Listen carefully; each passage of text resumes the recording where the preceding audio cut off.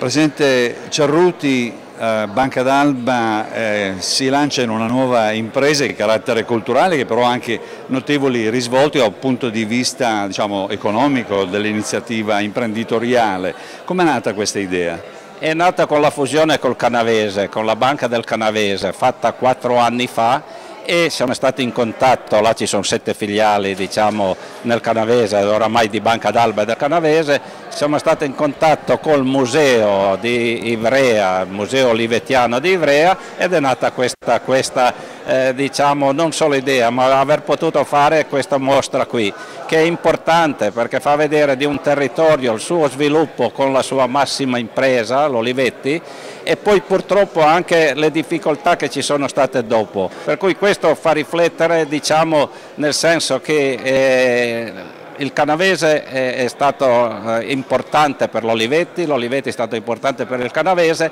ma eh, bisogna continuare a essere importanti e lo vediamo e vogliamo anche dirlo con tutte quelle fotografie, quei pannelli che ci sono delle attuali aziende del Canavese che sono aziende innovative, aziende che fanno dei prodotti importanti, chiaramente non più con i numeri di, di dipendenti di fatturato, però c'è ancora un tessuto importante nel Canavese che può, non dico sostituire, ma continuare una tradizione tecnologica importante. Grazie.